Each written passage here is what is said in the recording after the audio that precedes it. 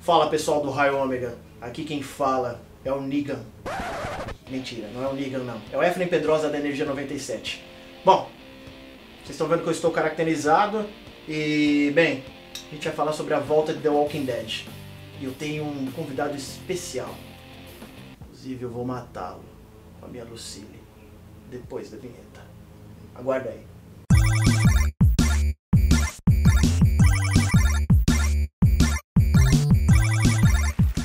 Voltamos então depois da vinheta do Raio Ômega. Sabe quem é o meu convidado especial? Ele, Robson Kumodi. E aí? Tudo bom? Belezinha, Tranquilo. Robson? Beleza. Pra quem não sabe, Robson Kumodi é um grande amigo meu, né? Pra quem não sabe também, Robson Kumodi, é óbvio, é dublador. Por que, que eu tô trazendo ele hoje pra gente falar de The Walking Dead? Porque ele simplesmente foi dublador durante várias temporadas de um dos personagens mais queridos de The Walking Dead. Sete anos fazendo Glenn. Deixa eu fazer uma pergunta pra você que eu acho que todo mundo quer saber. O Daryl é um filho da mãe? É um desgraçado? Então, uma coisa pra vocês. Eu nunca assisti The Walking Dead. Eu nunca assisti The Walking Dead. Eu não tenho. Não, eu, eu assisti uns flashes na TV, assim, como tá passando de canal. Nunca assisti o episódio inteiro. Caramba. Eu não sei quem é quem, não faço ideia. Durante praticamente, vai, são sete temporadas. Não sei nada. Como é que funciona quando a gente dubla? A gente chega no estúdio, assiste a cena que você vai dublar. Uma, duas, três, quatro, quantas vezes precisar. Volta e faz de novo. Não dá pra ter ideia do que tá acontecendo. Nenhuma ideia. E ele fala assim, puta, mas como é que você pega a emoção? Fala isso, né? Exatamente, é. Do que rola, você chegou a, pelo menos, pegar um, pouco Nada. de HQ ali, dar uma olhada e falar quem é o Glenn? Nada, nada. Como que chegaram em você? Como que chegou o convite em você? Como que chega o convite, assim? Então, mas é só- é falando Uhum. desse negócio da emo- da emoção, o lance da emoção é o seguinte, a dublagem, ele é um, é um processo mimético. Você vê o original e você vai tentar chegar o mais próximo possível dele. Correto. Se é um processo mimético, o material pra você fazer a mímese é aquilo que você tá vendo. Não precisa saber mais nada do que, além daquilo. Então você chega lá, é uma coisa, lógico, que não é mecânico o negócio. Não, Porque tem você... um filtro da emoção. Exato. Então, assim, o dublador, é, por isso que é tão difícil dublar. Porque ele, ele tem que trazer um resultado imediato daquilo que ele tá vendo na, naquele momento, mimético. Então, eu, eu olho, eu vejo a emoção que foi feita naquela cena, o que está acontecendo naquela cena. Então, assim, da voz, eu vejo o volume que foi feito, o tom, se foi mais grave, se foi mais agudo, a intenção que ele deu, a respiração dele, a intensidade da intenção dele, vejo a emoção dele, volto e eu tenho que emitir tudo isso assistindo três, quatro vezes só Canalizar aquela isso cena. pra, pro Então personagem. assim, é, não pode ficar robótico, Uhum. não pode ficar lido. Exato. Então na hora que volta, eu vejo, tipo, ali ele tá triste, ali ele tá com raiva, ali é um pouco mais alto, ali é um pouco mais baixo, ali é mais agudo, vejo tudo isso, volta, tem que ter sentimento. O resultado disso, na realidade, é fluidez. Então, assim, se não tiver fluidez na dublagem, é lógico que não soa de forma E natural. tem que ter sentimento. Então aí, aí tá o trabalho do ator. Então eu olho e falo, ali é raiva, volta, raiva. Inclusive, eu quero te fazer uma pergunta, é, aproveitando o embalo disso que você acabou de falar. O pessoal assistiu, lógico, a última temporada de The Walking Dead e sabe muito bem que, pô, Glenn morreu. Aquela cena, a cena em que ele leva a atacada na cabeça, que eu achei é uma das cenas mais marcantes até hoje, da, não só dos quadrinhos, como da própria série televisiva, foi muito difícil pra dublar, porque eu, eu, pelo menos assim, do pouco que eu entendo, porque, bom, você sabe que eu, eu dou aula de roteiro, dou aula de direção também, e eu acho que foi, assim, de uma dificuldade tremenda aquilo ali, porque... Pra eles mais do que pra gente, né? Imagina Ah, a maquiagem, de Sim, tira o olho, cara, aquela coisa toda. Pra mim, foi difícil. Embora ele nem tenha falado. Eu acho que nesse episódio ele falou uma frase. É isso mesmo, em inglês ele fala will find you. Maggie é will find you. Alguma ele coisa assim, isso né? mesmo, é. Não lembro mais. Mas assim, antes tem um monte de reação. E essas reações têm intensidade, tem intenção, tem interpretação. Então, tipo, não é simplesmente falar assim, ah! Não, eu sinto. Então, se você assistir dublado, vai ver que não é um ah, tem um sentimento. Exato. Então, assim, eu assisto aquele pedaço, eu falo, caralho. Então, assim, ali ele olhou, levou uma tacada, sei lá, reagiu. Depois ele começa desesperado. ofegante, É, né? Então assisto uma vez, assisto duas, três, sei lá quantas vezes foi preciso, até eu entender o que eu tenho que fazer na cena. Aí volta e eu faço isso. E aí tem que ter o sentimento. Então aí cansa eu cansa mais, é porque o, o Glenn era um personagem razoavelmente fácil de fazer, porque assim, ele sempre falava baixo, ele não tinha grandes emoções. Exato. Ele, ele, é um, ele, é um, personagem assim, ele é, é assim, é, ele é muito querido, mas ele é low profile, né? Ele é, é meio flat, é, é flatzinho, Exato. blá blá blá blá blá blá, então ele é fácil de dublar. Essas cenas que precisava assim, que ele ficava, essa cena, teve uma cena numa porta giratória também, que um dos personagens Sim, morre. exatamente. Essa cena foi muito difícil. Inclusive o também. personagem que morre, o o pessoal deve lembrar bem, é o Chris. de Todo mundo odeia o Chris. É, e aí essa cena também foi muito sofrida, porque ele gritava, ele ficava desesperado, chorava. E aí, Sim. pô, É, difícil. essa cena tem uma carga Aí dramática. você fala, nossa, ali era só uma, um grito. Então é fácil, não precisa falar, não precisa sincronizar. Não, era difícil, porque tem um sentimento esse grito, não é um grito Exatamente. solto. E aí que tá a dificuldade da dublagem, porque assim, eu não sei o que tá acontecendo, eu não assisti, eu não sei o que vem antes, eu não sei o que vem depois em tese, porque o diretor te conta, na verdade, né? Sim. Mas assim, eu não assisti, né? Daí você fala, como é que você consegue se você não assistiu? Porque é um processo mimético. Então, assim, eu vou analisar a cena. A dublagem começa na análise. Você analisa, né?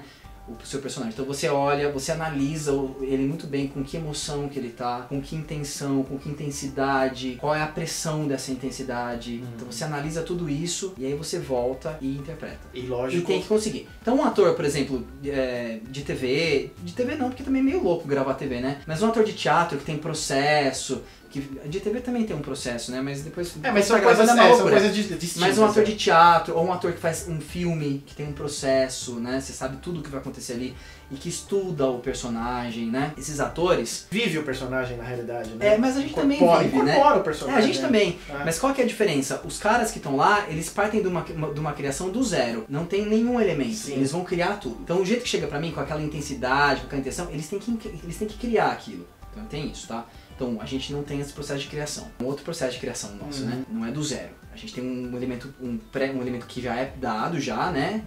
E a gente tem que pegar aquilo e fazer igual. Tem Né? uma coisa interessante também quando a gente fala dessa questão da dublagem, porque, por exemplo, a, a gente vê que a, a gente sabe que a maioria das pessoas, a maioria das pessoas em casa assistem dublado e é talvez esse seja um dos elementos principais e fundamentais pelo qual a dublagem brasileira é tão cobrada e ao mesmo tempo o nível dela é, é tão elevado, é bom. Por quê? Porque as pessoas muitas assistem dublado. E aí o que acontece? Você olha pra dublagem, você precisa adaptar também. Eu fiz, eu fiz tradução e interpretação, por exemplo. Então assim, você pegar e encaixar uma frase em inglês, né? Adaptar essa frase em inglês pra uma frase em português, com essa questão o envolvendo sentido, né? exatamente, exatamente, essa sincronia, principalmente do labial ali. Isso é, feito, isso é feito muito pelo tradutor, aí depois o diretor leva o texto pra casa, ele revisa, ele arruma de novo, e daí no estúdio o dublador e o diretor arrumam junto. Então assim, não é um trabalho fácil esse, é um trabalho longo. E tem que ser muito rápido, né? Por exemplo, The Walking Dead a gente tinha, sei lá, dias pra dublar. Chegava o episódio, a gente tinha alguns dias pra entregar o episódio inteiro. Pa- Passando por todos esses processos, a tradução, a produção, os dubladores indo, a gente grava tudo separado, não é todo mundo junto, né? Sim. Então vai um por vez. Antigamente o pessoal é, gravava todo mundo junto Gravava. no mesmo estúdio, né? Gravava. Já fa- faz muito tempo que isso mudou? Muito tempo.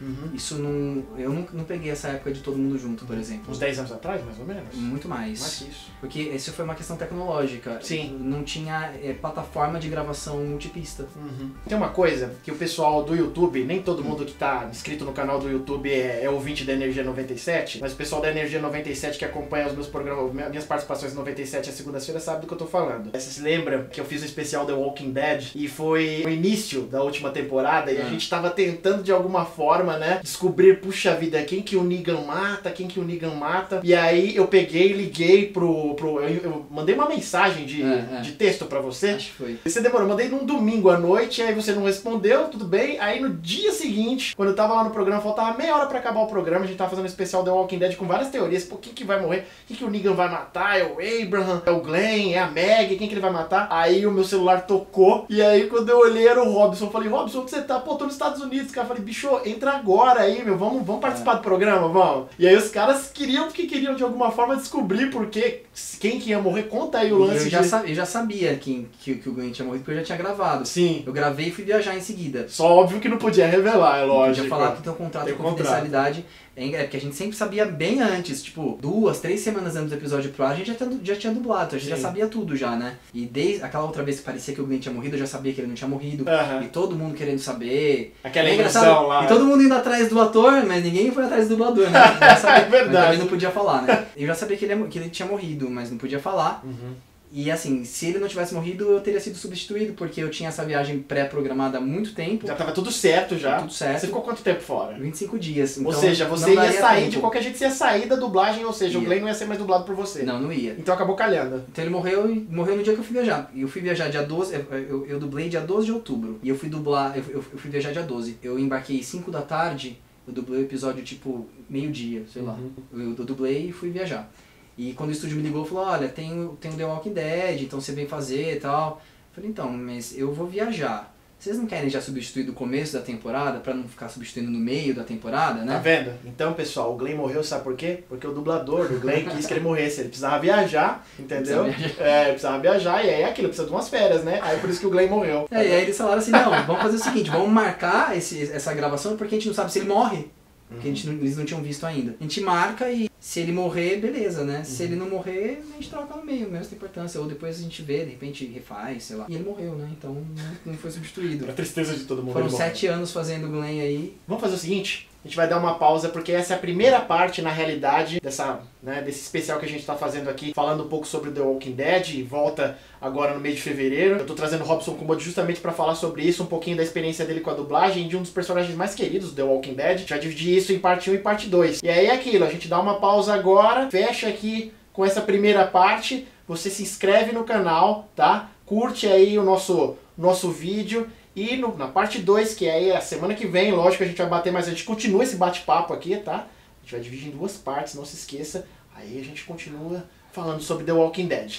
Então, por enquanto, a gente para. Beleza, Robson? Beleza. Fechou? Vamos fingir que a gente vai embora. parte 2. Espera aí. Curte o Raio Ômega. Tchau.